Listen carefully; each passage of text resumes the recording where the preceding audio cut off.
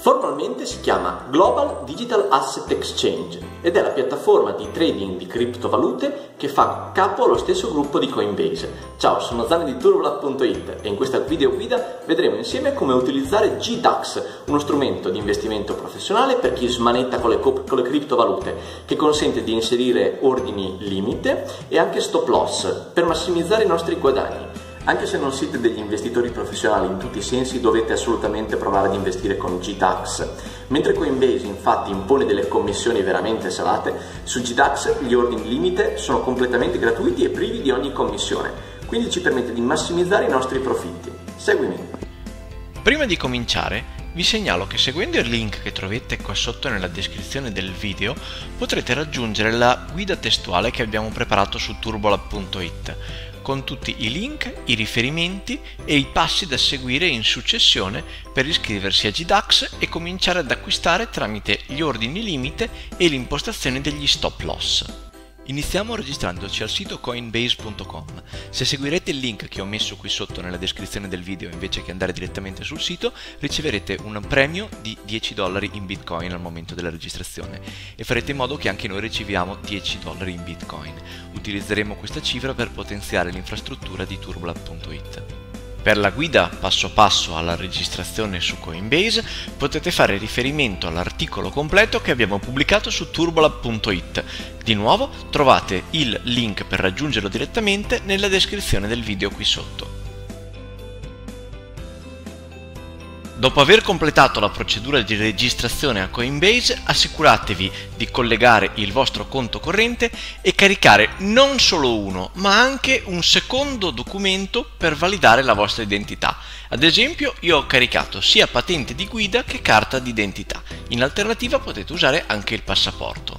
E qui armatevi di nuovo di santa pazienza perché, come già visto nella guida specifica a Coinbase, caricare il documento è sempre un'impresa veramente ardua, un po' perché i server sono sempre sotto sforzo, un po' perché evidentemente il sito non funziona troppo bene.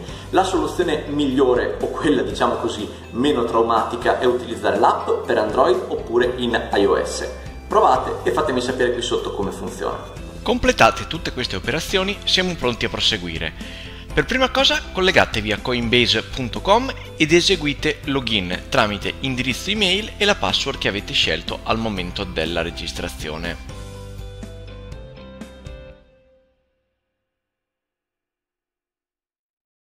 Dopo aver completato il login a coinbase.com, collegatevi al sito gdax.com una volta aperta la pagina, cliccate Create Account per creare un nuovo account. Il sito riconoscerà automaticamente che siete già loggati e registrati a Coinbase e potrete quindi completare l'autenticazione su GDAX semplicemente cliccando un paio di volte su Avanti. GDAX è uno strumento professionale e quindi l'interfaccia è un pochino più complicata rispetto a quella di Coinbase. In realtà, una volta capiti i fondamenti e le funzioni principali, è davvero molto semplice da utilizzare.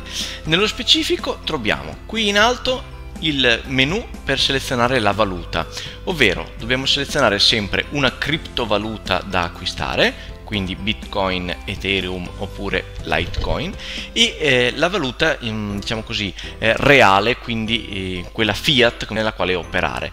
Per quanto riguarda l'Italia possiamo selezionare legalmente solo euro, quindi non possiamo scegliere i dollari. Subito più in basso troviamo una voce dedicata ai bilanci, depositi e prelievi. Da qui vediamo a quanto ammonta eh, la valuta che abbiamo selezionato in questo momento, quindi quant'è il nostro bilancio in euro e in eh, criptovaluta, quindi nella criptovaluta che abbiamo selezionato subito sopra dal menu. Tramite deposit possiamo visualizzare le coordinate per aggiungere credito in euro, mentre tramite l'altro pulsante possiamo vedere come prelevare eh, quanto abbiamo depositato sul conto. Subito sotto abbiamo l'area principale per immettere ordini, in questo caso gli ordini ordini significa che possiamo acquistare oppure vendere criptovaluta pagandola oppure ottenendo eh, euro, quindi la nostra moneta reale. A destra abbiamo eh, una coda di ordini di acquisto e vendita. In particolare sopra abbiamo gli ordini di vendita, quindi tutte le persone che stanno vendendo della criptovaluta, mentre sotto abbiamo gli ordini di acquisto, cioè le persone che stanno cominciando ad inserire ordini per comprare. In questo caso una volta che il prezzo di vendita e un prezzo di acquisto coincidono, ecco che ha effettivamente il là eh, il, la trattativa e quindi viene effettivamente scambiata la criptovaluta. Ovviamente per quanto riguarda la vendita lo scopo è cercare di ottenere il prezzo più alto, mentre per quanto riguarda l'acquisto è cercare di ottenere il, il prezzo più basso, ovviamente. Nel centro pagina abbiamo questo bellissimo grafico che risulta molto utile a chi svolge analisi tecnica. Abbiamo infatti l'andamento dei prezzi nel corso del tempo.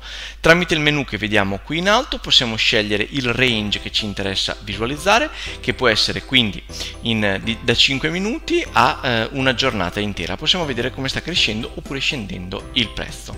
In quest'area abbiamo un grafico che ci mostra invece come stanno andando le vendite rispetto agli acquisti e subito sotto abbiamo i nostri ordini che abbiamo inserito, quindi inizialmente non ce ne sarà neanche uno, e che sono ancora in corso eh, in attesa che appunto venga un, un, un'altra trattativa di vendita oppure d'acquisto che combaci come prezzo e quindi possa essere effettivamente immessa sul mercato ed evasa.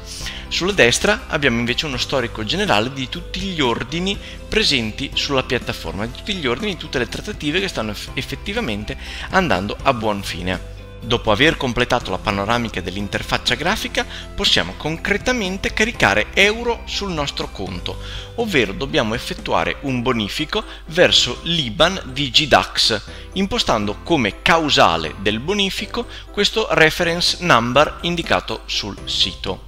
In alternativa, se abbiamo già dei fondi disponibili su Coinbase, possiamo importarli direttamente su GDAX senza spese aggiuntive.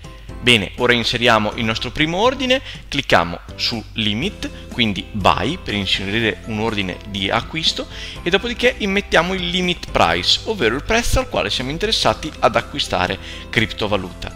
Clicchiamo quindi sul nostro bilancio in euro per completare il, eh, per compilare il form e clicchiamo infine su Place Buy Order per inserire effettivamente il nostro ordine al prezzo indicato. Una volta cliccato il pulsante vedremo che il nostro ordine compare qui sotto nella lista di quelli in attesa.